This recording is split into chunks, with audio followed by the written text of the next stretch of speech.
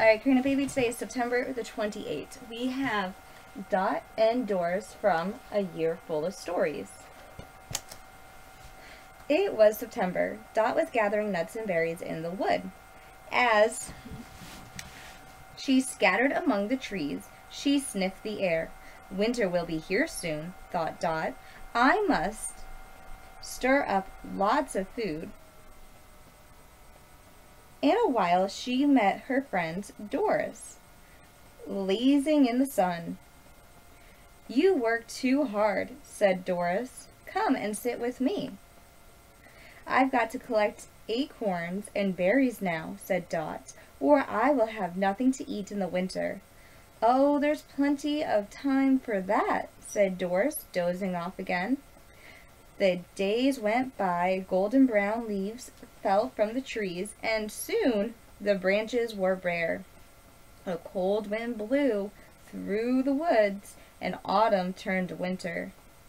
One frosty evening, Doris was very hungry. She ran along the hedge, the hedge groves, searching among the roots and brambles for something to eat, but there wasn't a nut or a berry to be found. Too late, too late, too late, hooted the owl. Meanwhile, Dot was snug in her hole.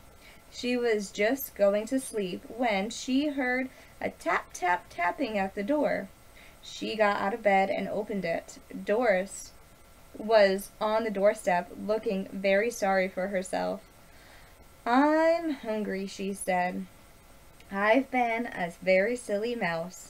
So Dot invited Doris in and gave her a good supper.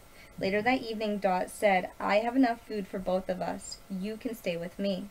Thank you, said Doris. You are a good friend. Then the two mice curled up and slept all winter. Oh, she was so good to her friend. She let her stay. All right, baby cakes. Let's see what's in for our next storybook.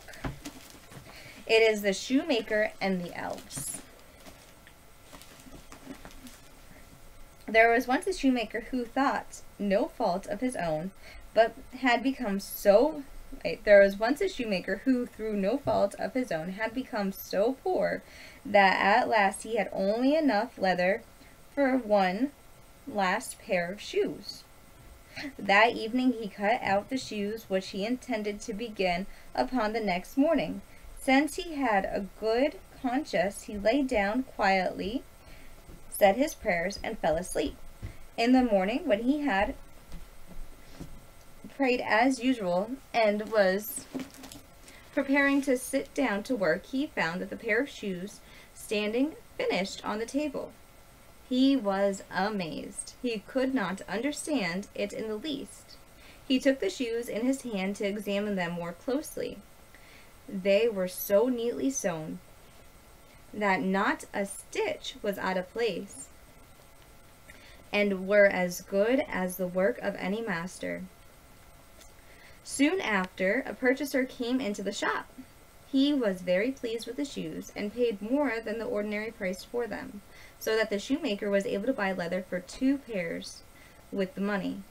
He cut them out in the evening, and the next day with fresh courage, was about to go to work. But he had no need to, for when he got up, the shoes were finished, and buyers were not lacking. These give these give him so much money that he was able to buy leather for four pairs of shoes. Early the next morning, he found the four pairs of shoes finished. And so it went on.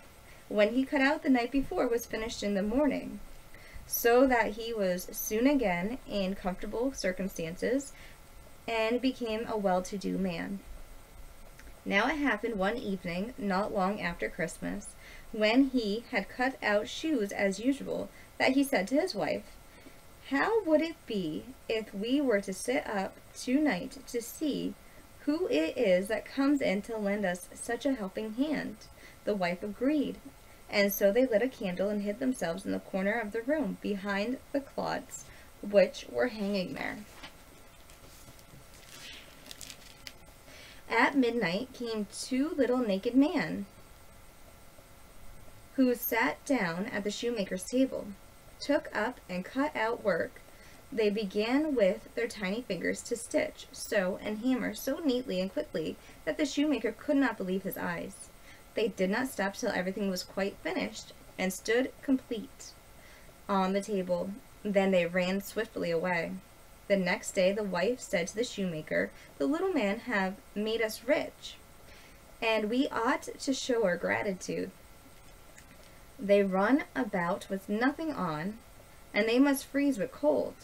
Now I will make them shirts, coats, and vests, and will even knit them some thick stockings. And you shall make them each a pair of shoes. The husband agreed. And in the evening, when they had everything ready, they laid out the presents on the table and hid themselves to see how the little man would behave.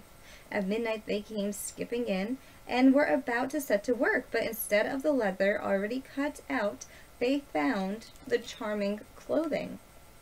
At first they were surprised, then excitingly delighted. With the greatest speed they put on and smoothed down the pretty clothes, singing, Now we're dressed so fine and neat, why cobble more for others' feet? Then they hopped and danced about and leaped. Look at them, they're tiny little men, right? So cute. And do you see them hiding behind the curtain? There's the curtain.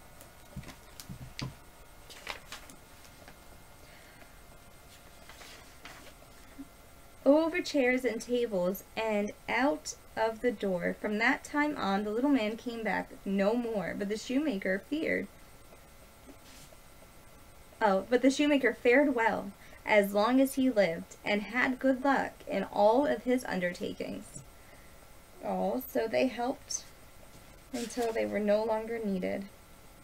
They had thick socks and, well, thick stockings and good shoes. Oh, they did so good. Alright, Karina baby, let's do Amazing Grace, how sweet the sound that saved a wretch like me. I once was lost, but now I'm found. Was blind, but now I see. 'Twas grace that taught my heart to feel, and grace my fears relieved. How precious was that grace thus far, the hour I first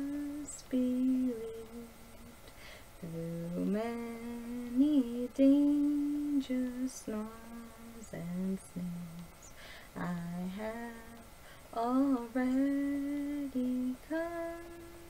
Tis grace that brought me safe thus far, and grace will lead me home when we've been there ten thousand years, bright as the sun. We've no less days to sing God's praise than when we first begun. How about um, sing My Little baby?